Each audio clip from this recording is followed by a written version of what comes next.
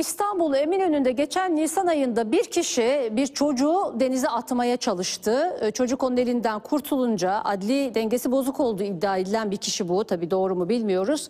Deniz kenarında oturan 38 yaşındaki Ahmet Uzun'u önce yumrukladı sonra suya itip ölümüne neden oldu. Olayın güvenlik kamerası görüntüleri ortaya çıktı.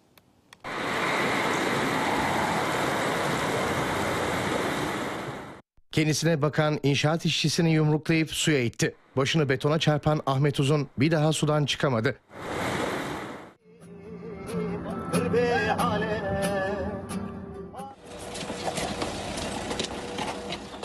Bu akıl almaz olay geçen Nisan ayında Eminönü iskelesinin yanında yaşandı. Serkan Ağa isimli kişi bir kız çocuğunu sırtına alıp onu denize atmaya çalıştı. Küçük kız bağırınca Serkan Ağa onu indirdi. Kenarda oturan inşaat işçisi Ahmet Uzunsa çocukla adamın tanıştığını, olayın da şaka amacıyla yapıldığını düşünmüş olacak ki müdahale etmedi. Kız çocuğu da bir süre daha Serkan Ağa'nın yanında kaldı ve sonra uzaklaştı.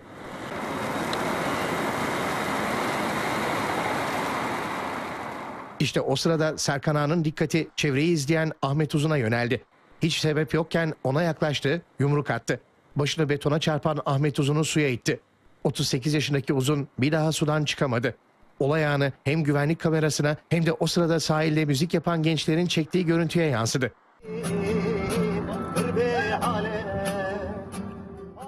Ahmet Uzun boğularak hayatını kaybetti. Bu görüntülerden yola çıkan polis Serkan Ağa'yı kısa sürede yakaladı. Zanlının akli dengesinin yerinde olmadığı iddia edildi. Serkan Ağa'nın tutuklandığı olaya ilişkin soruşturma sürüyor.